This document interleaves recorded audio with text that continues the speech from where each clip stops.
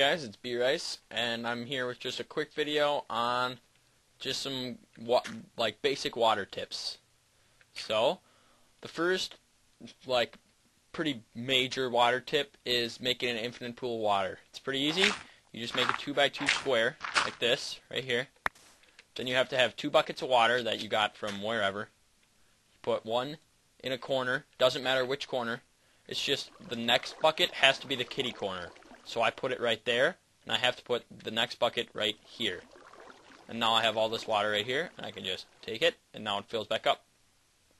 Take it, fills back up. The next tip is just letting you guys know that water travels seven spaces. So one, two, three, four, five, six, seven. We'll make it just a little further. Make it right there. And you'll get to see. And then it goes one space, two spaces, three, four, five, six, and seven. And see, and then it's over. But you can make it go further by lowering right here. Oh, shovel broke.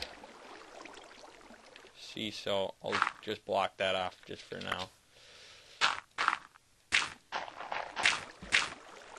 See? And so I kill this, kill that. It still doesn't move, but as soon as I take this block out, then it will it will keep going. See?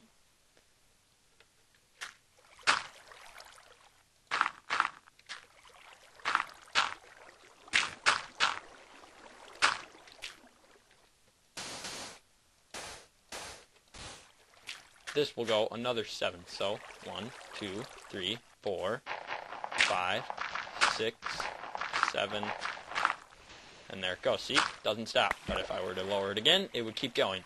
So one bucket of water can travel seven spaces in distance. And I still have my infinite pool of water right here. Come fill my bucket back up. I still have my two buckets that I had from the beginning.